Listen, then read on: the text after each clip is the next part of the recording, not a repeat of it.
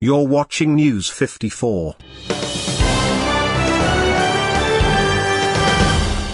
Things will not look good for President Uhuru Kenyatta in the event that his preferred successor loses to the one he is busy trying to block from the presidency, political analyst Michael Ndonye has warned. Already, the president has made it clear that he would prefer ODM leader Raila Odinga as the next president and is seen doing all he can to ensure that his own deputy, William Ruto, is kept off the seat. He has twice endorsed Raila, in Kibra in Nairobi County and in Kirinyaga, and is also seen as the man behind the Mount Kenya Foundation's reported attempts to rally the region behind the leader.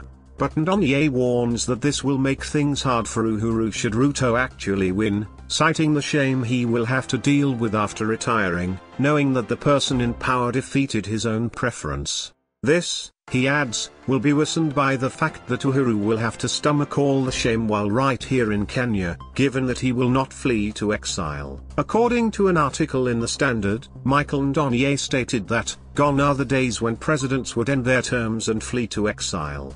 Serving a country as a president should endow one with honor and state protection.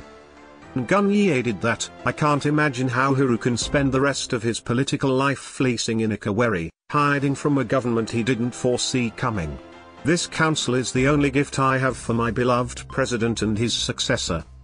He also cites possible victimization from Ruto and at the same time opines that Uhuru's government's failures actually makes it easy for Ruto to beat Raila should the president not stop openly endorsing him.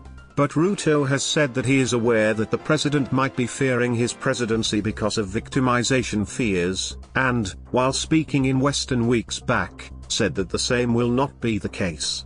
He said that he will give all leaders, Raila included, the needed protection even through their now busy plotting against him. Stay tuned, more news is coming up.